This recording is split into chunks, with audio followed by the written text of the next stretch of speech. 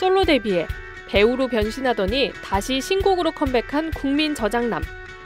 올 한 해 정말 쉴 새 없이 달려왔는데요. 앨범 이름 역시 다양한 매력을 모두 보여주고 싶은 바람을 담았습니다.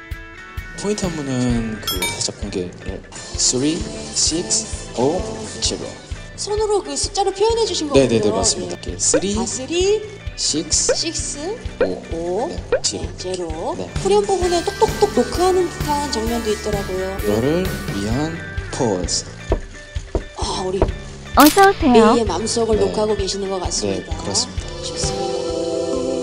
cutie, 섹시, 청춘 다 가진 지훈 씨. 팬들 마음속엔 이미 영구 저장됐겠죠? 열애설이 한 번도 아닌 두 번이나 났을 만큼 누가 봐도 잘 어울리는 선남 선녀. 스캔들 이후 첫 공식 석상인 만큼 관심이 뜨거웠는데요.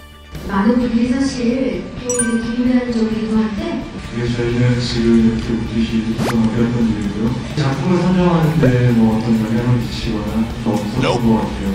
네, 저도 마찬가지고요.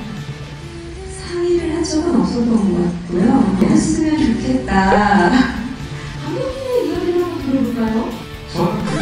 생각을 많이 했습니다. 어, 그럼 힘이 되게 좋겠구나. 연하남의 마음을 사로잡았던 예진 씨는 밤 누나 대신 꼭 듣고 싶은 말이 있다고 합니다.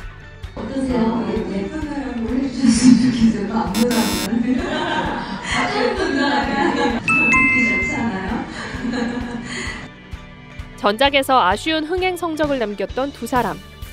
이번엔 시청자들의 마음에 제대로 도착할 수 있을까요?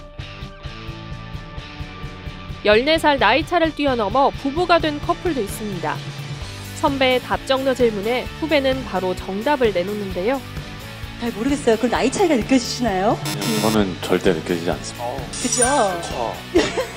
어, 이지훈 씨가 좀 나이보다 좀 성숙해 보이는 면도 있고 제가 나이보다 조금 어려 보이는 동안이라는 얘기가 좀 많이 들어서 장단점이 잘 맞는 것 같아요.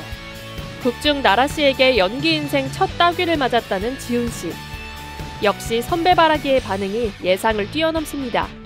뭐 너무 감사하다고 더 맞고 싶다고 근데 여기 손자국이 났음에도 불구하고 더 따라달라고 그러더라고요. 첫 닭이 어땠나요, 느낌이? 톡톡했어요. 죄송합니다. 집에 가서 메이크업 뺏기니까 여기 잘 남아있더라. 아픔까지도 긍정의 힘으로 승화시킨 이 남자. 이러니 예쁨 받는 막내가 될 수밖에 없네요.